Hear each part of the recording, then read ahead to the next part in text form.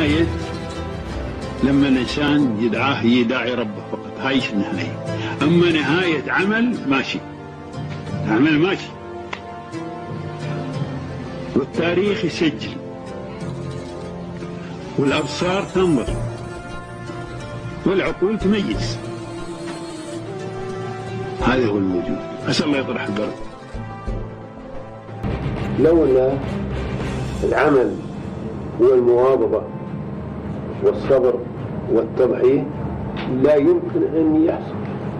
لا يمكن ولكن التضحيات والمواظبة على العمل هي اللي أجعلت كل ما هو تراه أعينكم موجود وبارز.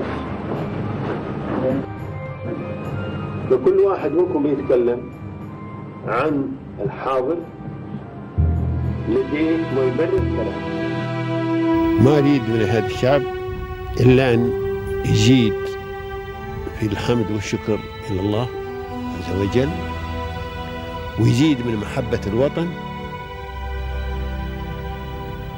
ويزيد من العمل ومضاعفة العمل لما يسعى فيه من خير له وللدولة والأهل.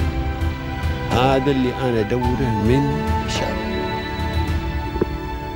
وربنا إن شاء الله يوفقنا جميعا على ما يحب ويرضى